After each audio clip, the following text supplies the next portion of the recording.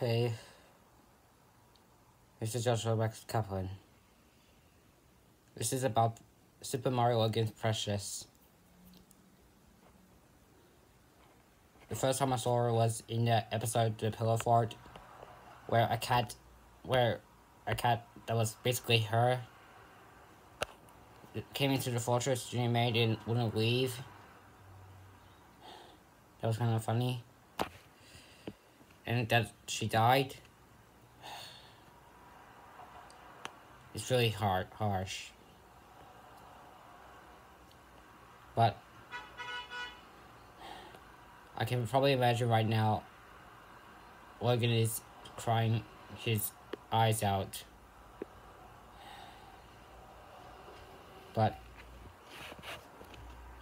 we can't all have not all things can last forever when something dies, they die.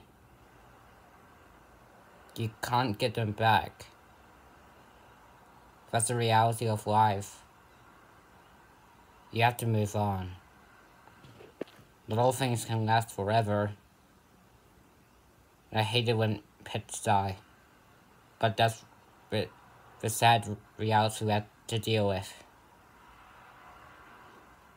Most, I'm mostly sure that some of you you had pets and they died and how much much it destroyed your heart. But we can't do anything about it. That's reality. I mean my sister had a pet dog called Chuchi when she died I was just just destroyed She got four new puppies. Luckily.